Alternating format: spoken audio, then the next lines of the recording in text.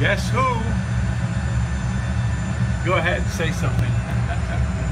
Yeah, Deacon Neil sat in Father's uh, cockpit, experiencing for the first time a flight in a simulator.